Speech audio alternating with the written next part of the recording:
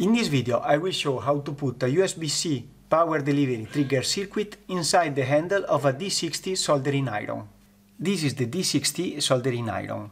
It looks like an USB-C power delivery tool, but actually if you try to power it with a USB adapter, it will not turn on, because it doesn't have the circuitry to trigger the USB power delivery.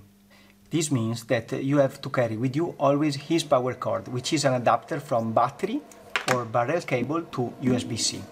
And now let's start.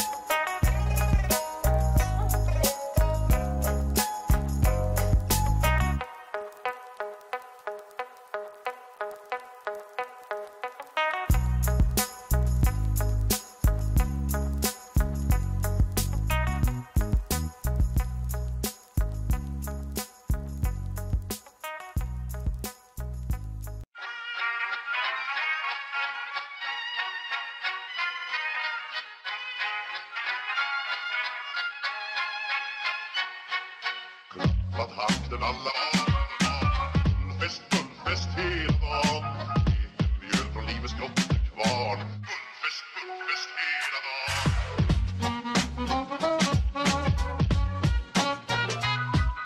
Stort och stort, det har vi alltid gjort Så det är guld.